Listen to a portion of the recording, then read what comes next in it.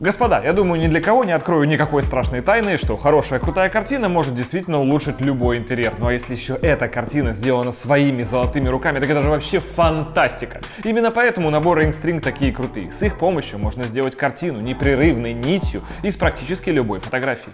Тут продумано абсолютно все, до мелочей. И сам процесс больше напоминает медитацию, потому что сама интерактивная инструкция — это по факту сочетание музыки и голоса. Вот, допустим, захотели вы заняться искусством. Ну, допустим, даже как я. Но есть проблема, рисовать вы не умеете. Решение есть. Ваши действия. Приобретаете набор Ring String, заходите на сайт, загружаете фотографию и получаете голосовую инструкцию. Она или он, а голос можно менять, как и скорость, называет вам сектор и номер гвоздика, а вы шаг за шагом ведете нить, постепенно создавая свой собственный уникальный шедевр. Ну и поскольку изобразить вы можете действительно здесь что угодно, то есть из любой фотографии сделать свою картину, то и подарок получается очень универсальным. Это значит, что подарить вы можете кому угодно, маме, сестре, дочке, жене. Так что могу смело рекомендовать. Переходите по ссылочке в описании и заказывайте наборы Ring String. Но не забывайте, что указав промокод Академик, вы получаете 15% скидку. Вводите его в корзине и дарите уникальные подарки. Господа, здравствуйте! Смотрите, что мы нарулили. Смотрите, что у нас есть. У нас есть парочка мопедов, макси-скутеров, если быть точнее. Один из них под гордым брендом BMW C400 GT И второй у нас Важе Важе SR4 Max. И с виду они очень похожи, бытует мнение в интернете, я даже читал, что вот есть оригинальный скутер BMW, а есть его китайская копия Важе SR4 Max. И раньше она в России представлена не была, но теперь так получилось, что теперь в России не представлен BMW, но зато представлен Важе. И я смотрю по основному каналу по моему, и вам так зашла серия, где мы разбирали китайский мотор, что я и решил в данном случае тоже понять, а чем же отличается оригинал от Китая. Ну или наоборот, Китай от оригинала. Или на самом деле, господа, забегая вперед, скажу вам, что не отличаются они ничем.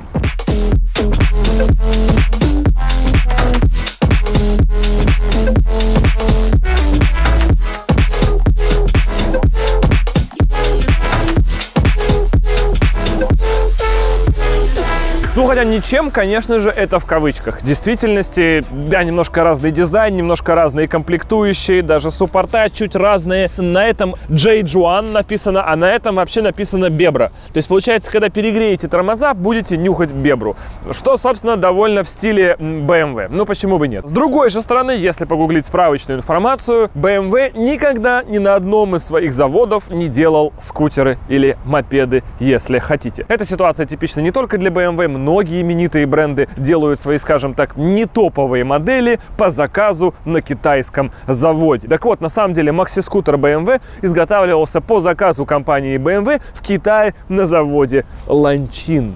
Собственно, вот этот бренд вы многие уже знаете. Это такой конкурент компании Lifan, которая очень часто встречается в вездеходной, внедорожной технике. Вот эти моторы ланчиновские, которые там 15, 25, 30 сил, которые можно купить везде. И когда Lifan стал слишком дорого, все перешли на ланчин, потому что вроде как качество то же самое, а цена приятней. Так вот, этот самый бренд ланчин выпускает не только вот такие вот дурацкие моторы из магазина инструментов и прочее, где они там продаются, или Сазона, да, но он производит еще и полноценную мототехнику. И производил он ее для компании компании BMW. Да, они быстренько забодали свой бренд, назвали его Вош или Вадже или Вок или как там еще э, это можно прочитать, но тем не менее и когда компания BMW из России ушла, сюда стали аккуратненько их завозить. Поэтому мы получаем по факту абсолютно одну и ту же технику, только с минимальными отличиями, но делается она на одном заводе, одними людьми и абсолютно из тех же комплектующих. Моим словам можно сколь угодно верить или не верить, можно обратиться к техническим характеристикам и здесь выяснится даже, что, например, в BMW у нас 34 или сколько-то там сил, да,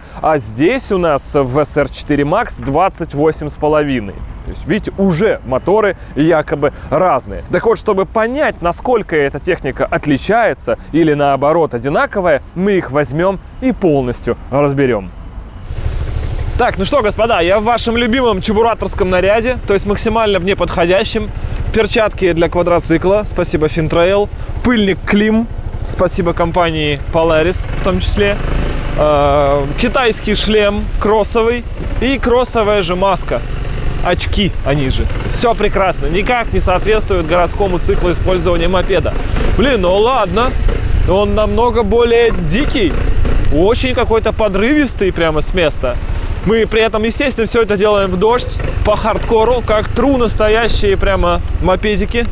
Нас не пугает плохая погода никак.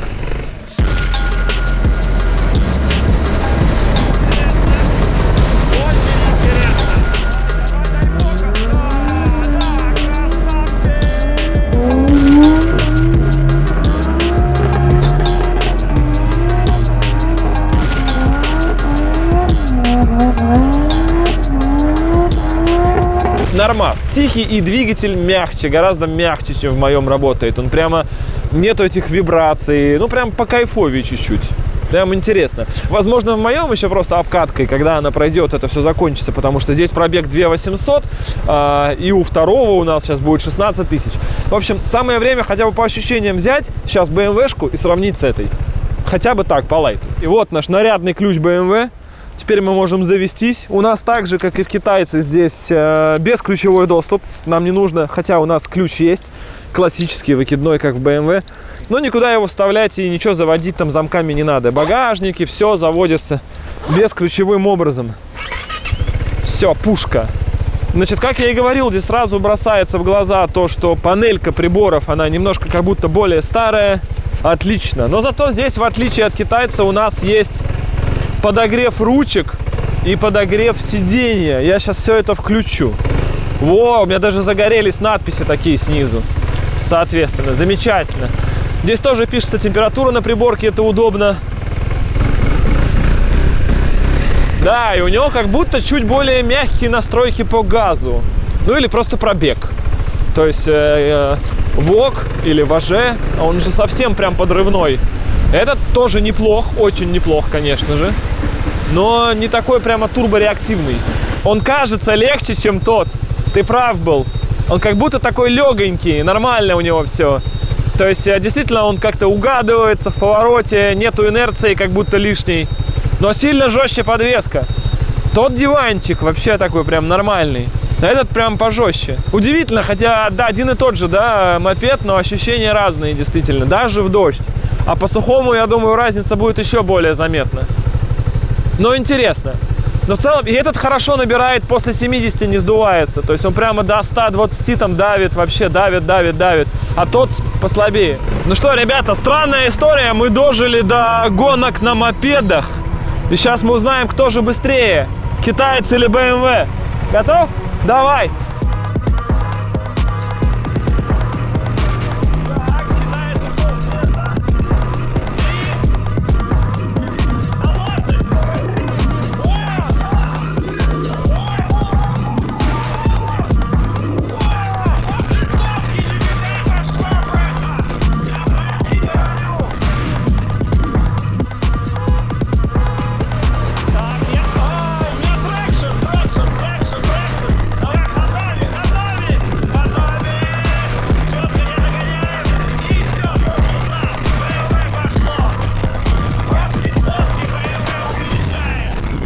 Короче, у меня даже сработал traction внизу. Дальше все равно я пошел чуть нагонять на низах. И на самом деле, если точно быть, с 90, с 90 BMW все равно начинает уходить. Забавно, насколько разные настройки. Короче, в целом все кайф. Мы здесь поняли, едем разбирать.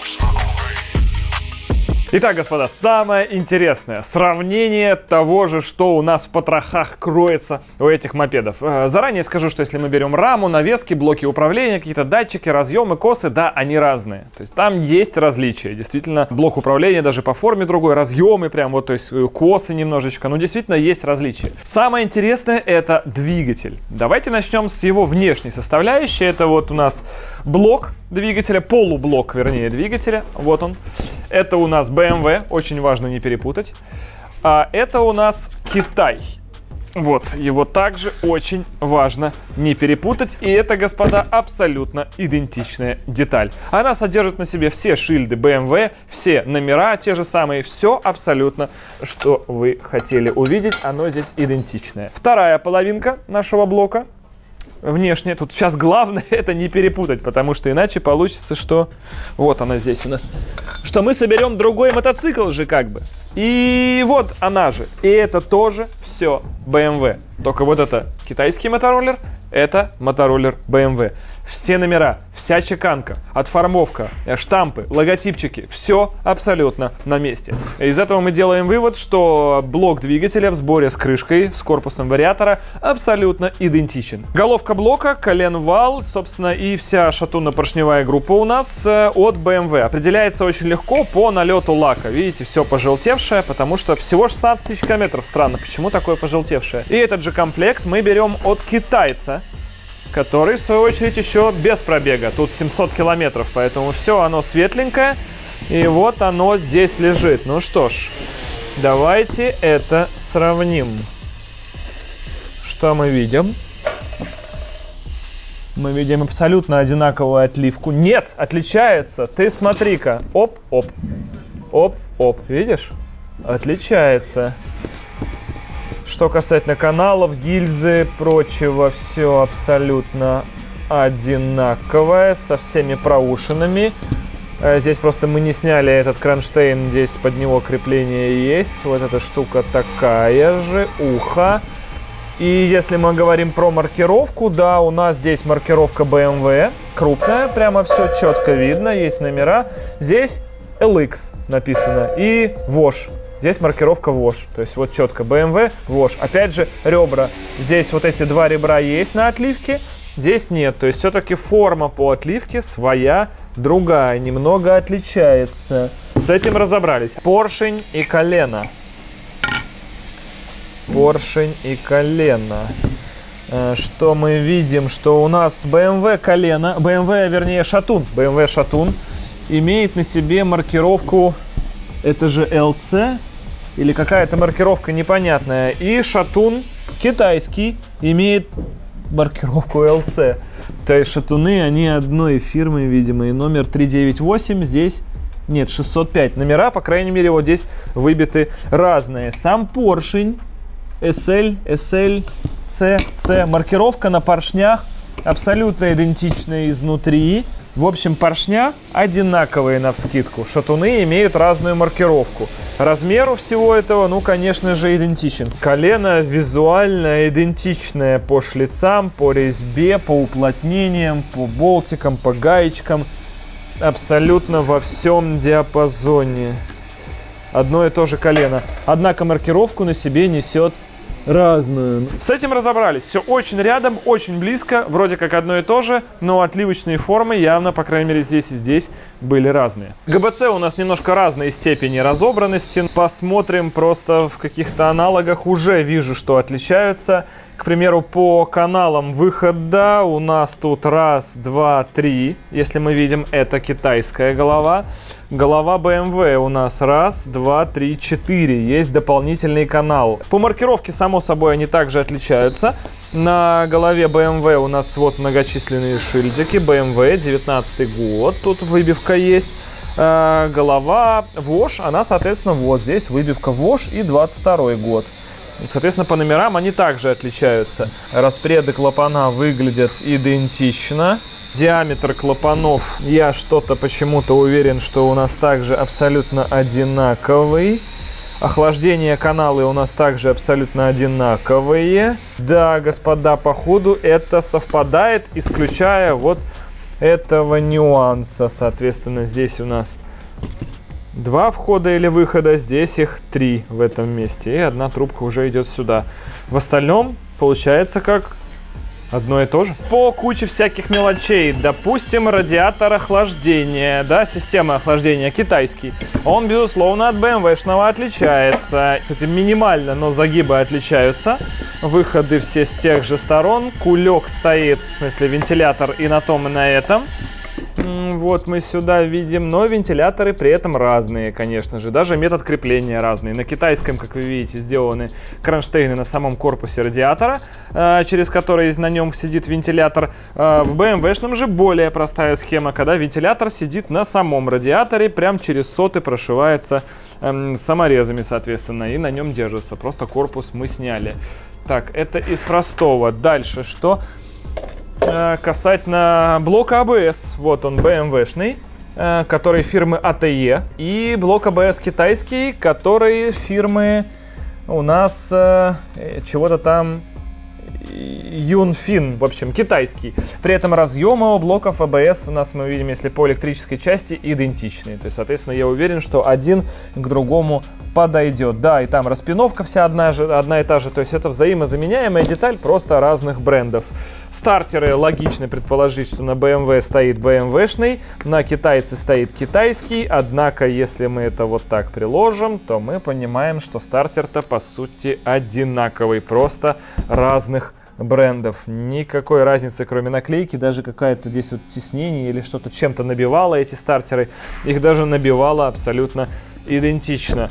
А, ремень можно попробовать по размеру одинаковый или нет, если мы это сейчас поймем. Мало ли мы тут что-то по редукции как бы уточним. Но, по-моему, как будто бы и ремни тоже абсолютно одинаковые даже по длине. В общем, так сложно это понять, но визуально они, естественно, даже не важно, какой и где стоял, как теперь понять.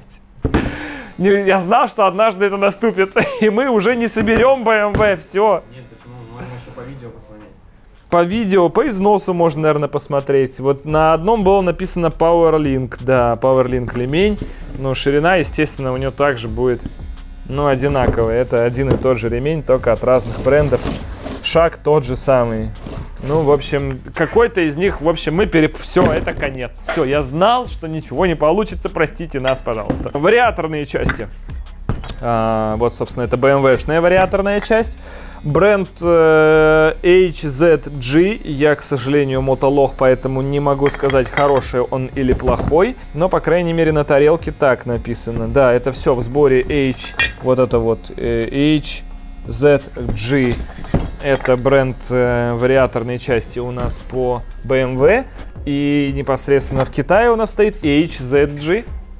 Да, это одно и то же. Вот, вот теперь точно одно и то же все. Даже начинка внутри.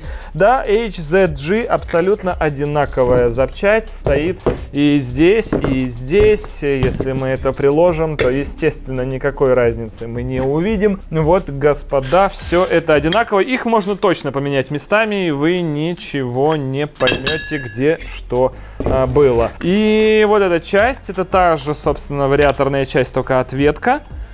Я думаю, что это все то же самое. Ролики, просто чуть больше походившие. Да, то же самое. HZG. И я уверен, что здесь мы увидим сейчас то же самое абсолютно. Ну, а с чего бы ему быть другим-то, собственно? Да, это оно же. То есть, э, что касательно трансмиссии, так называемой, резиночка выпала, то она идентичная у обоих Крышки статора. У нас, э, поскольку это внешняя часть двигателя, поэтому я был на 300% уверен, что это тоже BMW, и я был прав. Хотя логотипов BMW здесь, на китайской части, мы не увидим. И удивительным образом мы наблюдаем механические повреждения ровно в тех местах, где у нас на этой крышке находится логотип BMW, и здесь что-то шоркнуло по нему. Ну вот так бывает. А здесь у нас нету логотипа BMW, но есть номер, порт-номер, вот он верхний, 855-2209. И здесь именно он стерт. А два нижних э, номера, которые 02 и ADC12, они удивительным образом уже не стерты. Ну, короче, Короче, вы поняли, почему-то именно в этом месте китайцы, ВОШ или Ланчин, если хотите, решили именно стереть эти парт-номера. Соответственно, номер запчасти, то есть если по-русски говорить, да. Что тут сравнивать, когда это в принципе одна запчасть, и я ее вижу даже по номеру запчасти, тут непонятно. Просто, грубо говоря, здесь трубка снята, трубка не снята. BMW! Вот, вот она, вот она, от китайского мотоцикла крыльчатка, она абсолютно BMW-шная, идентичная. И номер детали у нас будет тоже ADC12, это какой-то общий, 855-2306. Вот она абсолютно идентичная крыльчатка, только это стояла в мотоцикле BMW, это стоит у нас в Китае. Вот крышка BMW-шная. Номер, который выбит изнутри лазером, он, естественно, отличается, но это даже по году может отличаться. И номер детали здесь китайцы сделали свой. У BMW традиционные 855-2305. Крыльчатка у нас 06 номер, а эта деталь 05 номер. Вот они отличаются. Ты смотри-ка, они отличаются. Ты смотри-ка, крепление. Это на резьбе сидит такой шток, а здесь просто вставляется сюда, и все. Знаешь почему? Потому что эти, когда разбирали, сейчас его сломали. Угу. Да. Да, потому что вот обрывок штока э, находится внутри крыльчатки. Пацаны, да, есть косяк. Это сломали, да. Поэтому четко, что это отсюда. И поэтому оно сейчас до конца плотно может и не встать, ну, потому что вот. Потому что должно быть на самом деле вот так поломали. Потому что резьба, что? Резьба, потому что в другую сторону. И кто-то, видимо, крутил до упора. И... Ну, а, вы поняли, мы к этому отношения не имеем. А, все совпадает, все идеально. Все одно и то же.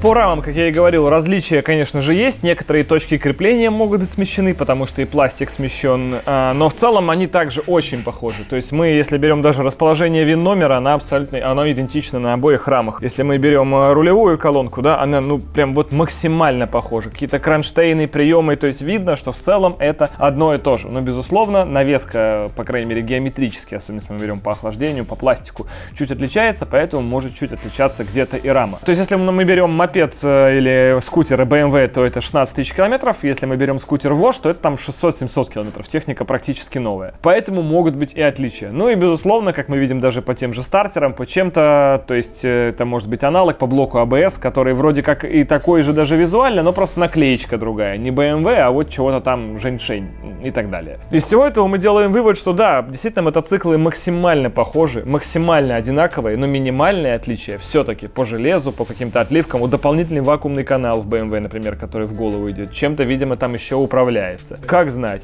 Но в остальном, если мы говорим поршневая, если мы говорим блок, то есть двигатель 100% один и тот же. И наполнение у нее 100% одно и то же. Возможно, просто под разными брендами. Возможно, просто рестайлинг. Генератор и прочее. Да, электрика уже отличается сильно. Блоки управления, косы, датчики, как я говорил, да, они немножко другие. Если вам интересно, что это в железе, железо абсолютно идентичное, на мой взгляд. То есть э, вы можете, как и BMW, чинить китайский, закапиталить BMW-шный мотор полностью ланчин запчастями или вож запчастями, на мой взгляд, проблем не составит никаких. Каналы охлаждения совпадают, шпильки все там же, отливка вся та же самая. Вот мы, собственно, все и доказали. Перешли от уровня слухов, что это просто одно и то же, к уровню, к тому, что это действительно одно и то же, с минимальными отличиями. По-хорошему, нужно было, конечно, разбираться еще в сортах стали. Как по прочности колена BMW-шная по закалке равно э, закалке Wash или нет. Вот это уже. Но такого оборудования у нас пока нет. Мы показали, что могли. Спасибо вам всем огромное, что смотрели это видео. До встречи в следующем. И пока. А удачи, еще всем вам огромной удачи, как нам, и тем, кто будет это собирать. Да. Но не мы.